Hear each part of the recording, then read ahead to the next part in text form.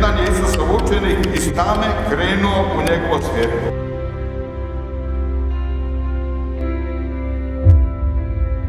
Sada je vrijeme da iz svog malog Nazareta pođem u druge gradove i druga mjesta, gdje i kako gospodin oče.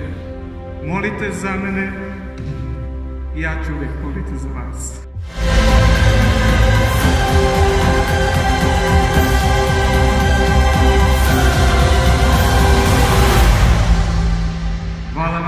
Vjernici, na svakoj molitvi.